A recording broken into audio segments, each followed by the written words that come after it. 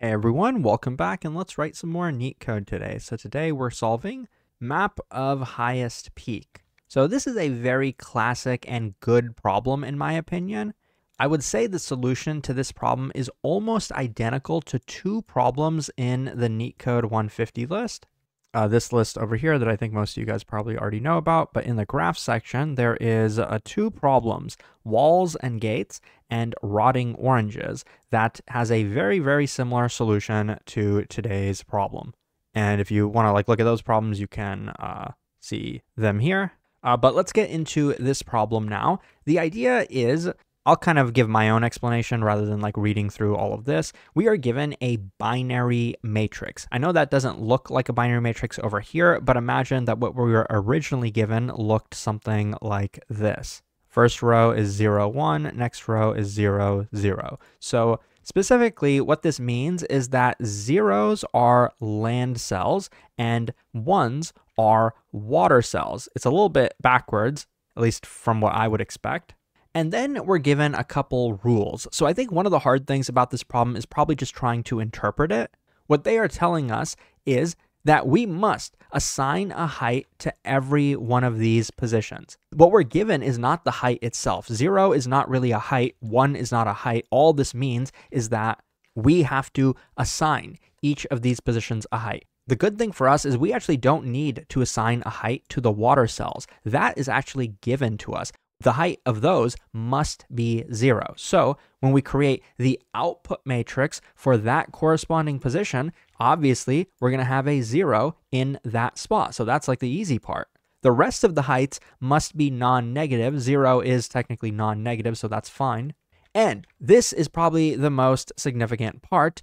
Any two adjacent cells must have an absolute height difference of at most 1. So when you look here, this is the output matrix. Like this is the result that we would return. You can see that down here. And you can see that it indeed is the case. These two adjacent positions have a difference of at most 1.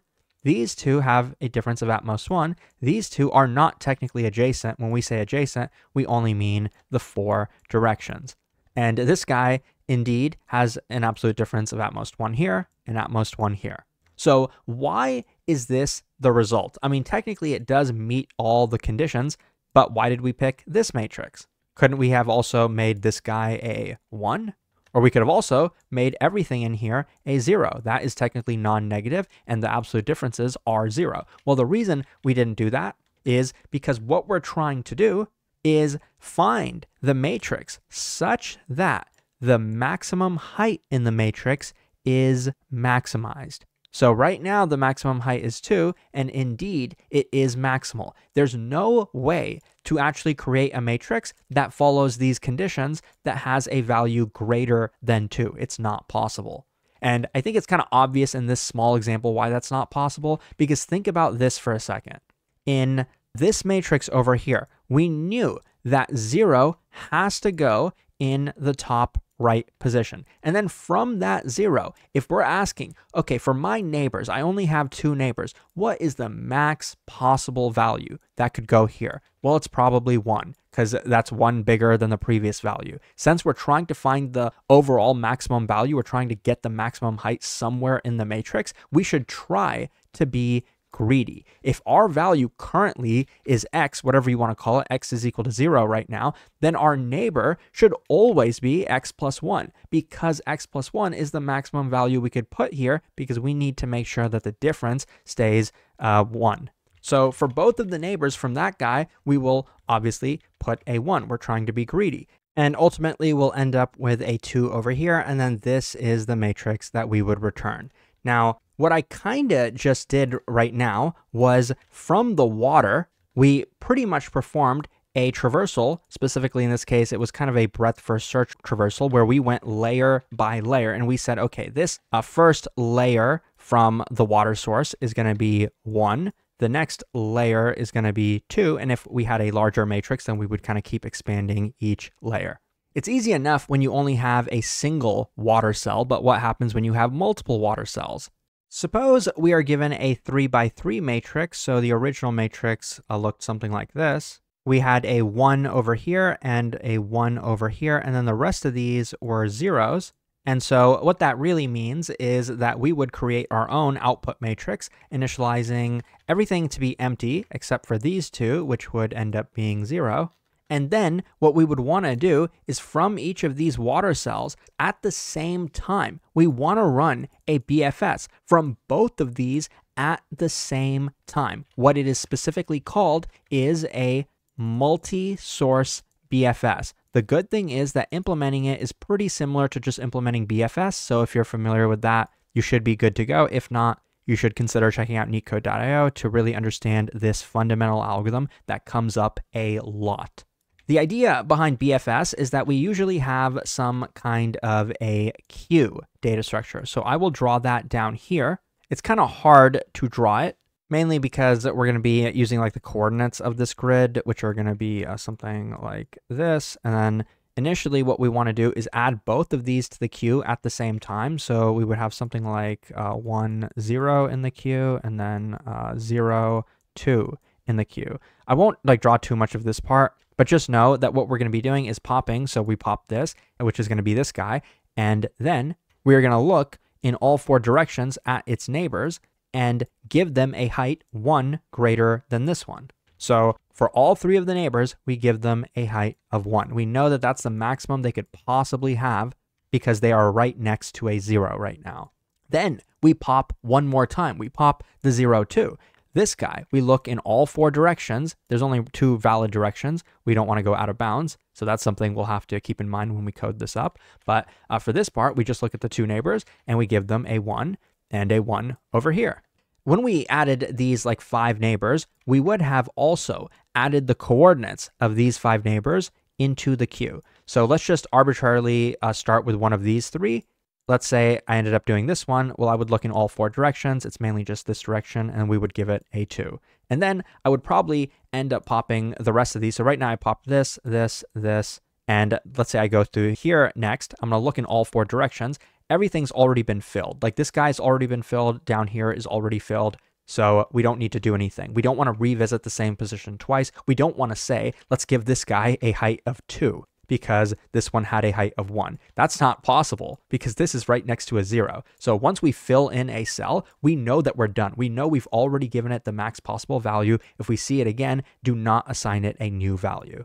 Um, after that, we will end up popping this, popping this, and then eventually I think we'll get here or here. Well, I think this will be first. So we'll pop from here. We'll look down. We can give it a 1 plus 1, which is 2.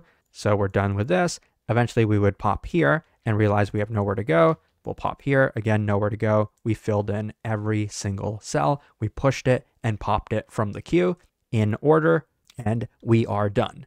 You can see that if I, well, you can't really see all the values here, but it is identical to the matrix on the left. You can see we have a couple zeros in uh, these spots, and then these two are twos. Everything else is a one.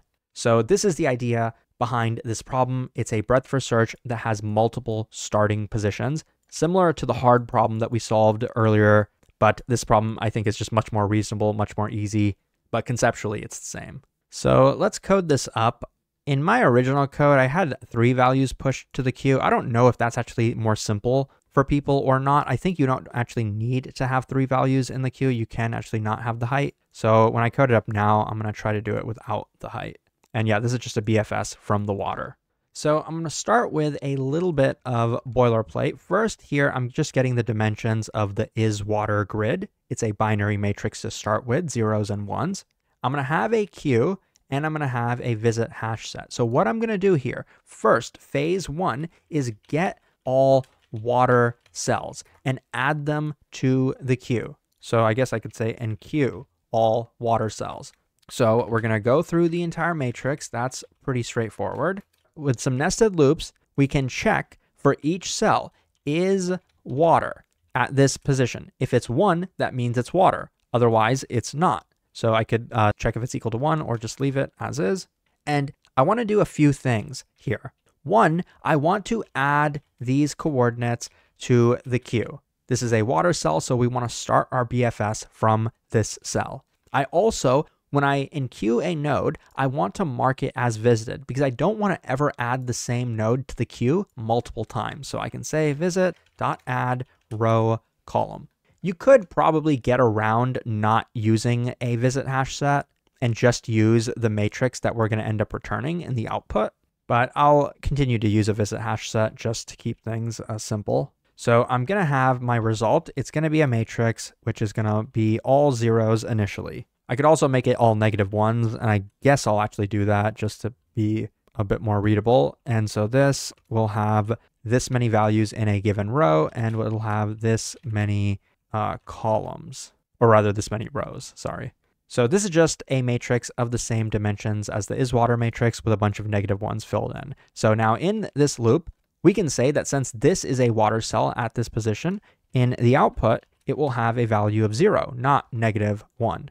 And so after this, we can start our BFS. It might be a multi-source BFS depending on how many water cells we had, or maybe it'll just be a regular BFS. That's what I mean by this part of the code is pretty cookie cutter. It's pretty simple. It's always just BFS. This is the part where we have multiple sources in our BFS. So down here, all I can say is while q, q dot pop left, we get the row column coordinates.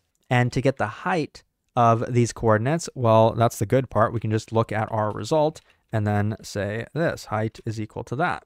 Next, we want to go through the four neighbors of this current position. So first, I'm just going to create an array of neighbors. So we don't have to have like repeated code. We can just loop through the four neighbors and each of them is going to be a one position adjacent. So row plus one, column plus one, uh, row minus one, and column minus one. Next, we will go through those neighbors, so like this, and we can unpack each neighbor row and neighbor column as we kind of go through it. It's a array of pairs. And so what we ultimately want to do is this. We want to append to the queue this neighbor, neighbor row, neighbor column. We also want to mark it as visited. So we can say visit now that it's been added to the queue, we can add it to the visit hash set as well. And lastly, we can give it a height. That's kind of the most important part. We know that the neighbor that we just came from had a height of this. And we know that this is the first time we're visiting this neighbor. So we can give it a height in the result of plus one. So h uh, plus one. And that's for the neighbor, not the original. So let's do this. Now, the only problem here is that we don't know that this position hasn't been visited yet, and we don't even know if it's in bounds. So let's check that first. Let's check if the row was out of bounds or the column was out of bounds in either direction. So n row is equal to rows or n column is this. In that case, we would continue to the next iteration of the loop and we would skip this code down here. There's one other thing that we need to check for, and I'll add that condition down here which is that this position has already been visited. So if this pair is in the visit hash set, then once again, we can skip that iteration. And after all of that is done down here, we can return the result. So provided I don't have any bugs, this code should work. And yes, you can see here it works. It is pretty efficient, I can promise you that. At least in terms of big O runtime, I'm guessing that the hash set is part of the reason that maybe we could slightly improve the runtime. So actually let me try that very quickly. So let's get rid of the visit hash set and see if we can work without it. So here I added it to visit. I can get rid of that. And let's say negative ones are unvisited spots. So negative one is equal to unvisited. And we can use those semantics to fix the rest of this code. So rather than checking if this position is in visit, we can check if uh, the result at new row, new column, is not equal to negative 1 because if that's the case, that means it's already been visited. And so down here, we also don't have to mark it as visited.